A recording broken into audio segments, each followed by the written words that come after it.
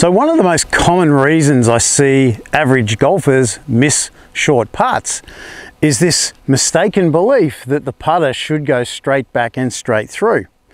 So if I'm trying to keep my putter square to the target, my putter is going to be opening through impact.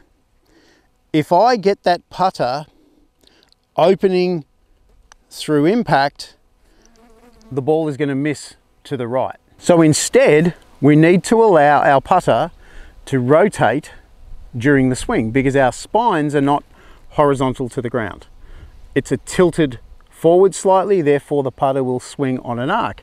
If I just allow the putter to just rotate naturally to the left through impact, I'm giving myself the best chance of getting the ball in the hole.